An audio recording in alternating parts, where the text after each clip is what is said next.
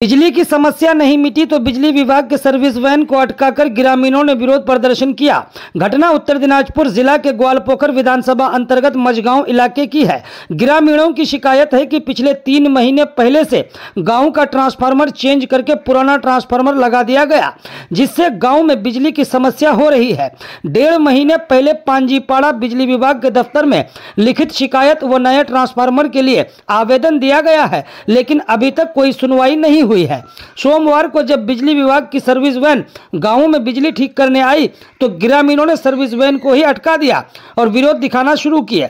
लोगों की मांग है कि जल्दी गाँव में बिजली परिसेवा को ठीक किया जाए। अन्यथा ग्रामीण बिजली विभाग के दफ्तर का घेराव करेंगे, साथ ही आंदोलन भी करेंगे।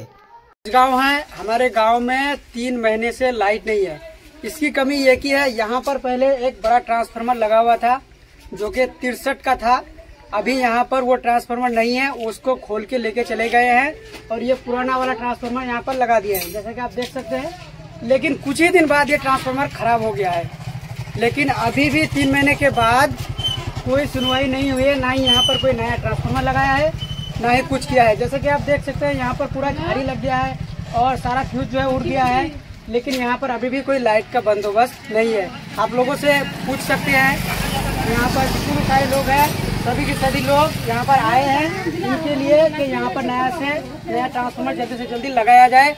और हम लोगों ने इलेक्ट्रिक वैन जो होता है, उसकी गाड़ी को रोक के रखे हैं। इसीलिए कि जल्द से जल्द काम हो सके। लेकिन यहाँ पर हम लोग जो ही एप्लीकेशन देने के लिए पांडीपुरा ऑफ़िस में गए, वहाँ पर हम लोग एप्लीकेशन दिए, लेकिन वहाँ पर भी एप्लीकेशन देने के बाद भी कोई सुनवाई नहीं हुई। अभी तक एप्लीकेशन देने का डेढ़ महीना हो गया। चलिए मैं आपको इलेक्ट्रिक फ़ैन की गाड़ी दिखा देता हूँ जिनको हम लोगों ने अटका कर रखा